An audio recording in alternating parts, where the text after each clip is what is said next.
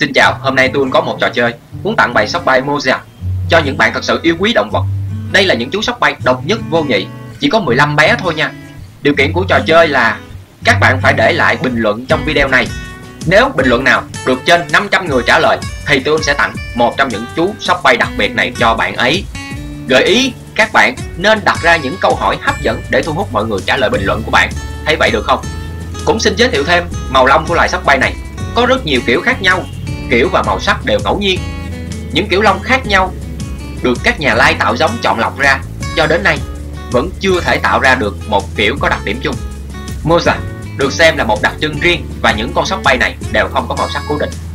Nguyên nhân muốn tặng sóc bay đặc biệt này cho các bạn bởi vì có nhiều bạn rất là yêu quý tụi